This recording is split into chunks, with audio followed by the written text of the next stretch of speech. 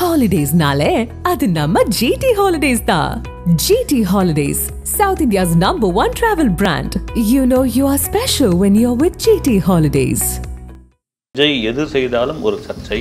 அது எதுவும் செய்யலனா கூட ஒரு சர்ச்சை. அதுவும் குறிப்பாக இந்த தமிழக வெற்றி கழகம்னு என்னைக்கு அறிவிச்சாரோ தமிழ்நாட்டு அளவில் மற்ற தலைவர்களுக்கும் ஒரு சின்ன பயம் வந்திருக்குது. இல்லைன்னு மட்டும் சொல்ல முடியாது. தமிழ் ராஜபக்ஷ ராஜபக்ஷவுடைய மகன் ஒரு வாழ்த்து சொல்லி ஒரு ட்வீட் போட்டிருக்காரு. அவங்க மனைவி தரப்புலேருந்து பேச ஆரம்பிச்சு. உண்மையிலேயே வந்து ராஜபக்ஷே வந்து ஒரு உத்தமரோ ஒரு நல்லவரோ ஒரு பெரிய தியாகியோ அப்படிலாம் நம்ம வந்து கொண்டாடவே இல்லை. லட்சக்கணக்கான தமிழர்களை கொன்று குவித்த மிகப்பெரிய அரக்கன். விஜயோடைய மனைவி சங்கீதா அவங்க பூர்வீகம் இலங்கை. அவங்க அப்பா சொர்ணலிங்கம். இலங்கையிலிருந்து லண்டனுக்கு இடம்பெயர்ந்து இன்றைக்கி ஒரு பெரிய தொழிலதிபர். பெட்ரோல் பங்க் நகைக்கடைலாம் இருக்கிறதா சொல்கிறாங்க இருக்கட்டும் வந்து ராஜபக்ஷனுடைய கூட்டாளி இவர். யார்? விஜயோட மாமனார்.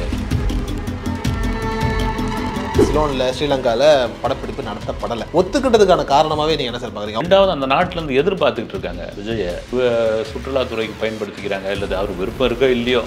நீங்கள் விஜய் ஏறக்குறைய ரஜினிக்கு பிறகு விஜய் எங்கே போய் கேமரா வச்சாலும் கூட்டம் வந்து. பாண்டிச்சேரி படப்பிடிப்பில் ஒரு மூணு நாளாக விஜய் மாறு வேஷத்தில் போயிட்டு அங்குள்ள மக்கள்கிட்ட தன்னுடைய கட்சி அந்த அளவுக்கு ரீச் ஆயிருக்குன்னு அவரே வந்து ஒரு கருத்து கணிப்பு நடத்திருக்கோம்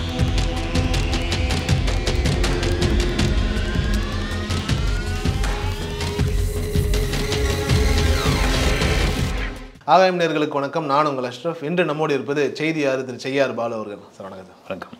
சார் அதாவது விஜய் எது செஞ்சாலும் சர்ச்சையாகிற ஒரு காலமாகவே இருக்குது ஆனால் அவர் ஒன்றுமே பண்ணலை. ஆனால் இருந்தாலும் வந்துட்டு ராஜபக்சேவனுடைய மகன் நமல் ராஜபக்சே வந்துட்டு இவருடைய அரசியல் வருகைக்காக ஒரு ட்வீட் போடுறாரு. இதை ஒரு ரீட்வீட் கூட விஜய் பண்ணலைன்னு வச்சுக்கோங்களேன். ஆனால் அதிலிருந்து விஜயையும் இலங்கையும் கொஞ்சம் சேர்த்து வச்சு இல்லை இது இப்படின்னு ஒரு கூட்டம் இல்லை அவர் அங்கே ஆதரவு பண்ணுவார் இப்படிங்கிற மாதிரியான ஒரு சர்ச்சையும் குழப்பமும் போயிட்டே இருக்கு சார். அந்த குழப்பத்தை நீங்கள் எப்படி சார் முற்றுப்புள்ளி இல்லை உண்மையிலேயே நீங்கள் அந்த கட்சியை அறிவித்த அன்னைக்கே வந்து இந்த ட்விட்டு வந்தது. அப்போது சா கொஞ்சம் இதுவாக பேசப்பட்டது. இப்போ பார்த்தீங்கன்னா அதை வச்சு ட்ரோல் பண்ணிகிட்டு இருக்காங்க. அப்புறம் வந்து பழைய வீடியோக்கள்லாம் எடுத்து போட்டுட்ருக்காங்க நீங்கள் சொன்ன மாதிரி தான் விஜய் எது செய்தாலும் ஒரு சர்ச்சை.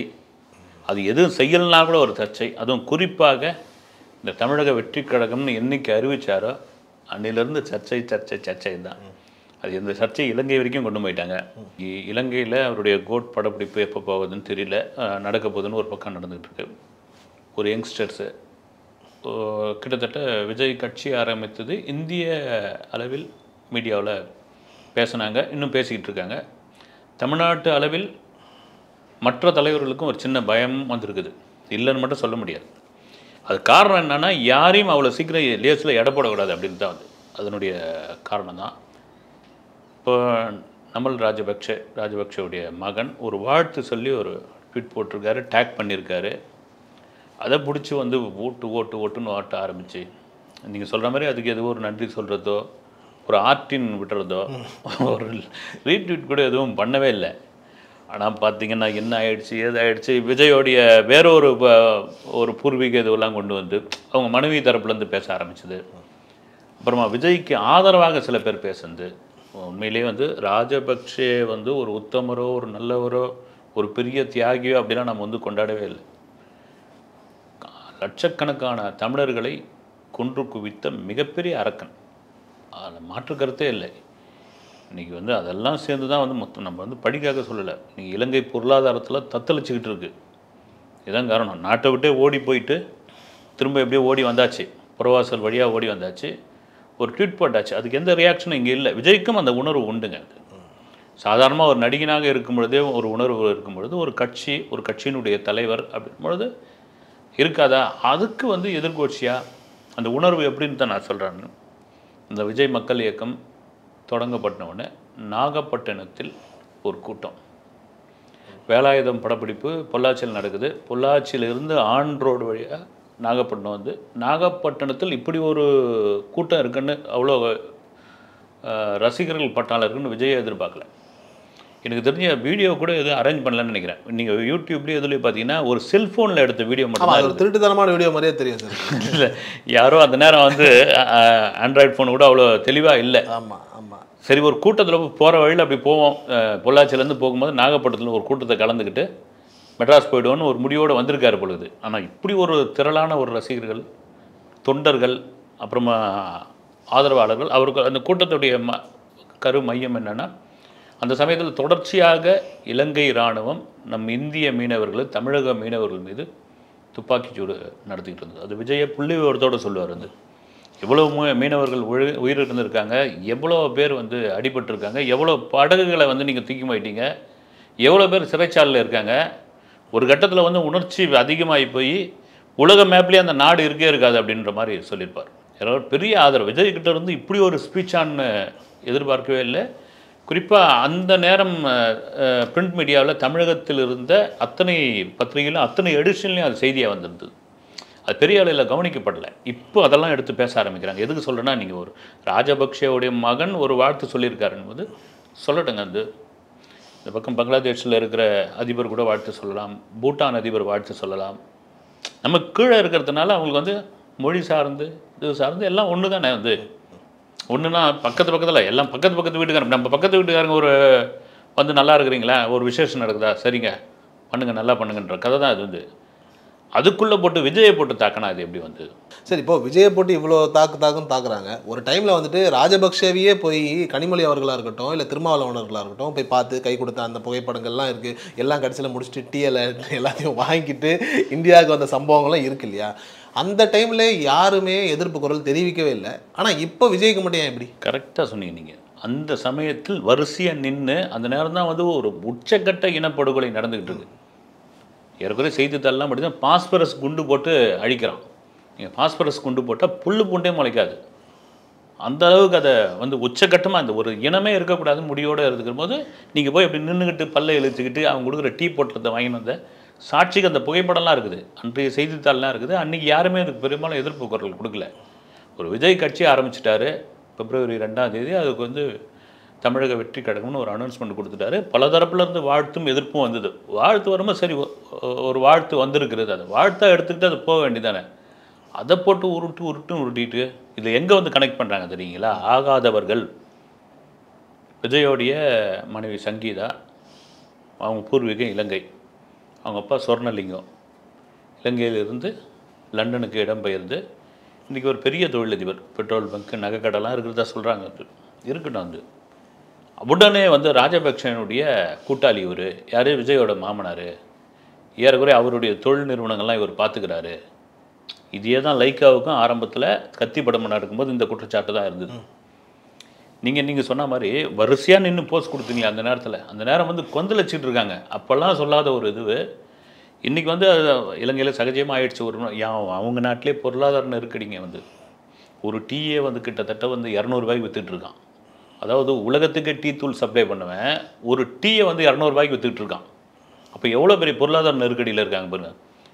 அதை விட்டுட்டு ராஜபக்ஷவுடைய கூட்டாளி அவருடைய மறைமுக இது அப்புறம் வந்து கோட் படம் நடிக்க வராரு. ரெண்டு பேரும் வந்து மீட் பண்ண போகிறாங்க அங்கே இருக்கிற ஸ்டார் ஹோட்டலில் சாப்பிட போகிறாங்க அப்புறமா பிரேமதாச ஸ்டேடியத்தை வந்து இவருக்கு வந்து ஒரு இருபத்தஞ்சு நாளைக்கு குத்தகை கொடுத்துட்டாங்க. யார்? விஜய்க்கு. விஜய்க்கு. கிரிக்கெட் ஸ்டேடியம் இப்படியா வந்து அடிச்சு விட்டுறது வந்து தொடர்ச்சியாக இது என்னென்னா விஜய் அரசியலுக்குள் வருவதற்கான பயத்தை காட்டிட்டாரு. அந்த பயத்தோட வெளிப்பாடு தான் இது.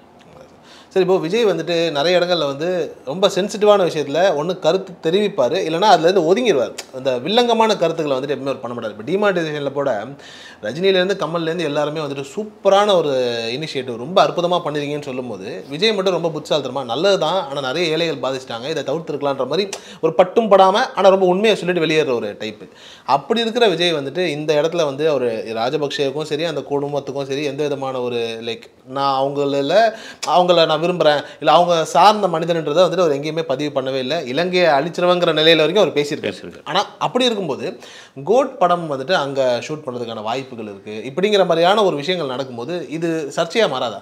இல்லை இது ஏற்கனவே வந்து கோட் படம் ஆக்சுவலாக வந்து நாம் கேள்விப்பட்ட வரைக்கும் இப்போ போயிடுச்சு. இன்றைக்கி என்ன தேதி? கடந்த பத்தாம் தேதி வெங்கட் பிரபு டீம் அங்கே இருந்திருக்கணும். அந்த டீம் வரைக்கும். பதினேழாம் தேதியிலேருந்து விஜய் அங்கே ஜாயின் பண்ணிக்கிற மாதிரின்னு ஒரு பிளானிங் இருந்தது. ஏறக்குறைய அந்த நாட்டுடைய சுற்றுலா அமைச்சர் கூட ஒரு ப்ரெஸ் மீட் வச்சுருந்தாரு. இது மாதிரி இளைய தளபதி தளபதி அவர் அவர் சொன்னது இளைய தளபதின்னு சொன்னார். இவர் தளபதியாக மாறிட்டார் இப்போ தலைவராக மாறிட்டார். அவர் நம்ம நாட்டுக்கு வராரு. நம்ம சுற்றுலா வந்து ரொம்ப பின்தங்கி இருக்குது. அவரை வந்து நம்ம சுற்றுலாத்துறையினுடைய ஒரு ஐக்கானா அல்லது வந்து ஒரு ரிப்பாக இப்போ அதாவது வந்துட்டு துபாய்க்கு வந்து ஷாருக் கானை வந்துட்டு ஒரு முகமா பயன்படுத்துறாங்க. அவர் துபாய்க்கு வந்துட்டு அவர் தான் ஐகான் ஆமா. அந்த மாதிரி இலங்கைக்கு வந்துட்டு விஜய் பயன்படுத்தலாம். விஜய் பயன்படுத்தலாம்னு. அது காரணம் என்ன? எக்கனாமிக்லாம் ரொம்ப இதுவாக இருக்கிறோம். சுற்றுலாவையும் தேயிலையும் நம்பி இருக்கிற நாடு. அதுவும் இந்த கொரோனாவுக்கு பிறகு சுற்றுலா சுத்தமாக அடிபட்டு போயிடுச்சு. அதுவும் இந்தியாவிலேருந்து நிறைய பேர் வருவாங்க. சவுத் இந்தியாவில் வருவாங்க. சவுத் இந்தியாவிலேருந்து விஜயை வச்சு நிறைய வரதுக்கான வாய்ப்பு இருக்குது கேரளாலேருந்து வருவாங்க தமிழ்நாட்டிலேருந்து வருவாங்க அப்படின்னு. இதெல்லாம் திட்டமிட்டு இருந்தாங்க இதை தவிர பார்த்தீங்கன்னா பர்மிஷன் கொடுத்துருந்தாங்க. என்னன்னா அந்த பிரேமதாசா ஸ்டேடியம் அதில் ஒரு வாரம் படப்பிடிப்பு. பழைய இலங்கை அந்த கொழும்பில் இருக்கிற பழைய ஏர்போர்ட் ஒன்று நீங்கள் மாநாடு படத்தில் சிம்பு வருவார் தெரியுங்களா? ஒரு ஏர்போர்ட் சீனு. அது அங்கே எடுத்தது தான். ஆக்சுவலாக வெங்கட் பிரபுவோடைய பிளான் தான் இது வந்து. என்னன்னா உங்களுக்கு வந்து இப்போ ஏர்போர்ட்லாம் இங்கே நம்ம சென்னை ஏர்போர்ட்டில் பர்மிஷன் கிடைச்சா இங்கே கிடைக்காது அநேகமாக இப்போ கூட ஒரு படம் வந்து வித்தைக்காரன் ஒரு படத்துடைய டைரக்டர்கிட்ட பேசியிருந்தேன். அது கூட ஒரு ஏர்போர்ட்டில் நடக்கிற ஒரு சம்பவம். இங்கே கிடைக்காம கோயம்புத்தூர் ஏர்போர்ட்டில் எடுத்துருந்துருக்காங்க அப்புறமா வந்து செட்டு போட்டு மேட்ச் பண்ணியிருக்காங்க. ஏன்னா இங்கே நிச்சயமாக இங்கே அந்த பாதுகாப்பு இதெல்லாம் இருக்குது அங்கே கொடுக்கவே முடியாது. கூட எங்க நின்றாலும் கண்ணாடி வர மேலே இருந்து உந்துருவாங்க அதெல்லாம் முடிஞ்சு போச்சுங்க. நல்ல பிரமாதமான இன்டர்நேஷனல் ஏர்போர்ட்லாம் வந்து. பிரமாதமாக கட்டிட்டு இருக்கிறாங்க வந்து. நான் போயிருந்தப்போ பார்த்தேன் மிரண்டு போயிட்டேன் நான். சென்னை இன்டர்நேஷனல் ஏர்போர்ட்டில் அது அப்படின்ற அளவுக்கு. இப்போ ஒரு ஏர்போர்ட் அங்கே வந்து கொழும்புல பயன்பாட்டுக்கு இல்லைனாலும் பராமரிப்பில் இருக்குது அது கூட முக்கியமாக அவங்க விஜய் வரத்தை எதிர்பார்த்துக்கிட்டு இருந்தாங்க. அங்கே இருக்கிற தமிழர்களும் அதை எதிர்பார்த்துக்கிட்டு இருந்தாங்க. இப்போ இந்த பிரச்சனைக்கு அப்புறம் தொடர்ச்சியான இந்த பிரச்சனைக்கு அப்புறம் விஜயே போலாமா வேணாவா? அப்படின்ற ஒரு மனநிலை கூட வந்தாலும் வருவார். அது ஏன் நம்ம வந்து கேரளாவில் எடுத்துக்கலாமே? திருவனந்தபுரத்தில் எடுத்துக்கலாம் கொச்சியில் எடுத்துக்கலாம். அப்படின்னு ரஜிக்கு வந்திருக்காரு. சார். இது கூட ஏன் இவ்வளோ குழப்பமாச்சு அப்படின்னா அவர் அந்த நமல் ராஜபக்சேவோட ட்வீட்டில் வந்து கடைசியாக வந்துட்டு தளபதி விஜய்னு போட்டுட்டு ஒரு கோட் சிம்பிளை போட்டு வச்சிருப்பார். ஆடு சிம்பிளை போட்டு வச்சோன்னா உடனே எல்லாம் என்ன நினச்சிட்டாங்க அப்படின்னா அப்போ இவர் வந்துட்டு பேசியிருப்பாரோ இவரோட வந்துட்டு இந்த கோட் ஷூட்டிங் போகிறோம் அப்படிங்கிற மாதிரியான ஒரு தொடர்புகள் பேச்சுவார்த்தை விஜய்க்கும் நமல் ராஜபக்சேக்கும் ஒரு பேச்சு இருக்கோங்கிற மாதிரியான ஒரு விவாதங்கள்லாம் போயிட்டு இருக்கு இது எப்படி சார் இல்லை அது எப்படின்னா நீங்கள் இல இலங்கையில் ஒரு பெரும் ரசிகர்கள் வந்து விஜய்க்கு இருக்காங்க. ஏன் அவரே கூட ரசிகராக இருந்திருக்கலாம்ல? ஏன்னா சிங்களர்கள் தமிழ் படம் பார்ப்பாங்க. அவங்களும் பார்க்குறாங்க. தமிழ் சினிமா நடிகர் நடிகைகள் அவங்களும் ரசிக்கிறாங்க. ஒருவேளை நமல் ராஜபக்ஷ விஜயோட ரசிகராக இருந்திருக்கலாம். அதனால் கோட் படப்பிடிப்பு நம்ம ஊருக்கு வராங்க நம்ம நாட்டுக்கு வராங்க. ஒரு வரவேற்க விதமாக வந்து அந்த சிம்பிளை போட்டுருக்கலாம். அதுக்குள்ளே ஆஹா ஓஹோன்னு பேச ஆரம்பிச்சிட்டு இதெல்லாம் சும்மா நீங்கள் அதுக்கு வந்து விஜய் ஏதாவது ரியாக்ஷன் கொடுத்துருந்தா தான் இது விவாத பொருளாக மாறி கொடுக்கல. சார் ஒரு மொரிஷியஸ் தீவுக்கு போகிறீங்க அப்படின்னா ஒரு முக்கியமான புள்ளி போகிறோன்னா அந்த அதிபர் வந்து வரவேற்க தான் செய்வார். அவர் வந்து வரவேற்கிறதுக்கு ஒரு ட்விட்டோ ஒரு இன்ஸ்டாவில் ஒரு ஸ்டோரியோ போடுறது வழக்கம். நீங்கள் இந்த பிரச்சனை வந்து விஜய் சார்ந்த இலங்கை சார்ந்த பிரச்சனைகள் வந்து அப்படியே ஃப்ளாஷ்பேக் உள்ள போனீங்கன்னா கத்தியிலேருந்து கத்திக்கு முன்னாடி காவலன்லேயே வந்துடுச்சு. ஏன்னா காவலன் நடிக்கிறதுக்கு முன்னாடி அசின் இலங்கைக்கு போயிட்டு இதே ராஜபக்சேவுடைய மனைவியெல்லாம் மீட் பண்ணி ஏறக்குறைய அந்த நாட்டோட ஒரு விளம்பர தூதர் மாதிரியே நடந்துக்கிறது. அந்த வீடியோ வந்து தன்னுடைய சோஷியல் மீடியாவில் அசின் போட்டது பெரிய கொந்தளிப்பாயிடுச்சு அப்போல்லாம் கூட சொல்லியிருந்தாங்க வந்து அசின் வந்து ஒரு மலையாள நடிகை அவங்களுக்கு என்ன தமிழ் உணர்வு அவங்களுக்கு என்ன தெரிய போகுது? ஓகே அப்போ வந்து ம- தமிழ் படத்தில் அவங்கள வந்து நடிக்க விடக்கூடாது. எனக்கு ஒரு ரெட்டு போடணும்னு முடியலாமண்டாங்க அது அப்புறம் அதெல்லாம் சரியான விஷயம் கிடையாது ரெட்டு போடுறதுலாம். நீங்கள் இங்கே கூப்பிடலன்னா நான் வந்து தெலுங்குலேயும் கன்னடத்துலேயும் பண்ணிட்டு போகிறேன் அப்படின்ற ஒரு விஷயம் இருக்கு. அந்த நேரம் அப்படியே திரும்ப என்ன ஆகிடுச்சு விஜய் மேலே வந்தது. நீங்கள் வந்து காவலன் படத்தில் அசினை வந்து புக் பண்ணக்கூடாது. நடிக்க விடக்கூடாது. இன்னொரு கதாநாயகி இது பண்ணும் அப்படின்னா அப்புறம் காவலன் தரப்புலேருந்து பேசுனது என்னென்னா நீங்கள் ஒரு நடிகை நடிகையாக பாருங்கள் ஒரு கதையே கதையாக பாருங்கள் ஒரு இப்போ சிங்களம் ஒரு இது ஒத்துமையாகி அங்கே ஒரு பெரிய இதுவாகி போய் அங்கே இருக்கிறவங்க வந்து இங்கே நடிக்க வந்தால் ஒத்துப்பீங்க இல்லைங்களா? ஒரு காலத்தில் சிலோன் மனோகர்னு ஒரு நடிகர் இருந்தார் பாடகர் மனோகரம். எண்பதுகளில். அவ்வளோ ஃபேமஸ் அவர். அப்படிலாம் சிலோன்ற அதான் இலங்கைக்கு இன்னொரு பேர் சிலோன் அப்போ சிலோன்லாம் பெரிய இதுவாக இருக்கும்போல தெரியாது நமக்கு படிக்கிற காலகட்டங்களில். அப்படி இங்கே வந்து கொண்டாடினாங்க அவரை வந்து திரும்ப அவர் போயிட்டார். நீங்கள் அதை வந்து கலையை கலையாக பாருங்கள் அப்படின்ற ஒரு விஷயம் வந்து காவலனுக்குள்ள அசின் வந்தப்போ அந்த படத்துக்கு பெரிய எதிர்ப்பு உண்டாச்சு அப்புறம் காவலன் வேறு விதமெல்லாம் மடை மாற்றி விட்டாங்க. சிறுத்தை படம் அந்த சமயத்தில். அதுக்கு நிறைய ஸ்க்ரீன்ஸ் கொடுத்து ஏறக்குறைய சேட்டலைட் வந்து கலைஞர் டிவி வாங்கி இந்த படத்தை இது வாங்கி அப்புறம் அவரே கூட ஓப்பனாக பேசியிருந்தார் விஜயை கூட. ஏன் இப்படிலாம் தொந்தரவு பண்ணுறீங்கன்னு ஒவ்வொரு விஷயத்தையும் விஜய்க்கு இப்படியான இதுவாகிடுச்சு உள்ளூர் பிரச்சனை இப்போ வந்து உலக பிரச்சனையாக மாறி இருக்கு. விஜய் விஜய்க்கு. அப்படி தான் எடுத்துக்கணும் ஆமா. அழகாவே சொன்னீங்க. உள்ளூர் பிரச்சனை உலக பிரச்சனை உலக. பிரச்சனையாக மாறி. இப்போ சார் விஜய்க்கு காவலன் டைமில் அசினுக்கு நடந்தது தெரியும். இது எல்லாமே தெரியும். சமீப காலமாக விஜயனுடைய படங்கள் எதுவுமே வந்துட்டு சிலோனில் ஸ்ரீலங்காவில் படப்பிடிப்பு நடத்தப்படலை. அப்படின்னு இருக்கும்போது விஜய் வந்துட்டு பதினாலாம் தேதி அவர் போறாருங்கிறத தாண்டி ஒத்துக்கிட்டதுக்கான காரணமாகவே நீங்கள் என்ன சார் பார்க்குறீங்க அவர் மாமையார் மாமனார் அப்படிங்கிற அந்த ஏதாவது அந்த அதெல்லாம் இது வந்து வெங்கட் பிரபு டைரக்ட் முடிவு பண்ணுறது தான் சார். டைரக்டர் வந்து இதுக்கு முன்னே அதே லொக்கேஷனில் போய் மாநாடுன்னு ஒரு படம் எடுத்துகிட்டு வந்துட்டாரு. எந்த சிரமமும் இல்லை. சிம்புக்கே அந்த அளவுக்கு எந்த சிரமமும் இல்லை. அங்கே வந்து ஈஸியாக எடுக்க முடிஞ்சது. ஒரு ரியல் ஏர்போர்ட் வந்து இன்னும் பராமரிப்பில் இருக்குது. அந்த ஏர்போர்ட்டை ஈஸியாக எடுத்தாச்சு. நான் உங்களுக்கு சொல்லணும்னா வந்து இந்த ரெண்டாயிரம் தொடக்கத்தில் முகவரின்னு ஒரு படம் வந்தது பாருங்க. அந்த படம் ரெண்டு மூணு படங்கள்லாம் அப்போ நம்ம சென்னை ஏர்போர்ட் வெளியே கூட நீங்கள் எடுக்க பர்மிஷன் கிடையாது. பிர்லா பிளானட்டோரியம் பிளானட்டோரியம் இருக்கு. இல்லைங்களா நம்ம கோட்டூர் புறத்தில் ஆமா அங்கே தான் ஏர்போர்ட்டா வெளியே வச்சு நீங்கள் நிறைய படம் முகவரியெல்லாம் பார்த்தீங்கன்னா தெரியும். நிறைய படம் நட்புக்காக எல்லா படத்துலேருந்து அங்கேருந்து தான் வர மாதிரி அங்கேருந்து வெளியே வர மாதிரி இருக்கும். இப்போ வந்து மதுரை கோயம்புத்தூர்லாம் ஈஸியாக கொடுத்துட்டாங்க. கரெக்ட் கரெக்ட் அப்படி இருக்கும்பொழுது அதனால் வந்து வெங்கட் பிரபுவோட முடிவு தான் சார் அங்கே போய் எடுக்கலாம். அதே போல் வந்து அவ்வளோ பெரிய கிரிக்கெட் ஸ்டேடியம் கிடைக்குது நமக்கு. அங்கே யூஸ் பண்ணிக்கலாம். ரெண்டாவது அந்த நாட்டிலேருந்து எதிர்பார்த்துக்கிட்டு இருக்காங்க. விஜய போகலாம். ஓகே. ஆழ ஒரு சுற்றுலாத்துறைக்கு பயன்படுத்திக்கிறாங்க இல்லை அவர் விருப்பம் இருக்கோ இல்லையோ அங்கே எதிர்பார்த்துக்கிட்டு இருக்காங்க. ஒரு தொந்தரவு இல்லாத ஒரு படப்பிடிப்பு நடத்திட்டு வருவோம். இன்னைக்கு விஜய் ஏறக்குறைய ரஜினிக்கு பிறகு விஜய் எங்கே போய் கேமரா வச்சாலும் கூட்டம் வந்துட்டு அதனால தான் அரங்குலையும் வெளியிடங்கள்லையும் வந்து உள்ளும் இப்போ பாருங்கள் பாண்டிச்சேரியில் நடந்த படப்பிடிப்பு இப்போ பாண்டிச்சேரியில் நடந்துகிட்டு இருக்கு. இன்னொரு முக்கியமான தகவல் வந்து இன்னைக்கு செய்தித்தாளில் வந்தது. இன்னைக்கு ஒரு தினசரியில் வந்த தகவல் என்னென்னா பாண்டிச்சேரி படப்பிடிப்பில் ஒரு மூணு நாளாக விஜய் மாறு வேஷத்தில் போயிட்டு அங்குள்ள மக்கள்கிட்ட தன்னுடைய கட்சி அந்த அளவுக்கு ரீச் ஆயிருக்குன்னு அவரே வந்து ஒரு கருத்து கணிப்பு நடத்தியிருக்காரு. இன்னைக்கு வந்திருக்குது. செய்தி வந்து ஒரு ஆறு கால செய்தியாக வந்திருக்குது. அப்படி வந்து முழு நேர அரசியலுக்குள்ளே விஜய் போயாச்சு. இந்த அரசியலுக்குள்ளே போனது பிறகு தான் ஒரு சரி இது இது வந்து ஒரு நடிகராக இருந்து விஜய் இப்படி பண்ணியிருந்தா இந்த ராஜபக்சேவுடைய மகன் இப்படி ஒரு ட்வீட் போட்டிருந்தா இந்த எதிர்ப்பு வந்திருக்கா சார்? அரசியலுக்குள்ளே வராருன்னு சொன்ன உடனே தான் இந்த அளவுக்கு வந்து சூப்பர் சார்.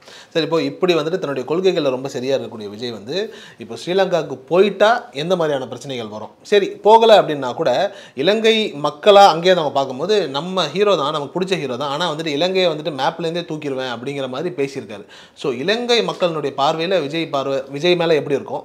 நம்ம மக்கள் வந்துட்டு இப்போ இங்கேருந்து அவர் போயிட்டாரு அப்படின்னும் போது வந்துட்டு இல்லை நம்ம இனத்தையே அழிக்கிறதுக்கு முயற்சி பண்ணி ஆல்மோஸ்ட் இத்தனை உயிர்களை கொன்ன அந்த ஒரு நாட்டுக்கு இவர் போயிட்டாருங்கிற மாதிரி இவங்களுடைய பார்வை. இந்த ரெண்டு பார்வையும் எப்படி இருக்கும்? இது எப்படி விஜய் ஹேண்டில் பண்ணுவோம் இல்லை இது நீங்கள் வந்து முதல் பார்வை வந்து ஒரு கோவத்துடைய உச்சக்கட்ட வெளிப்பாடு. அந்த நேரம் வந்து யாரை எல்லாருமே வந்து ஒரு தமிழனாக பிறந்த அத்தனை பேரும் கொந்தளிச்சிட்டாங்க.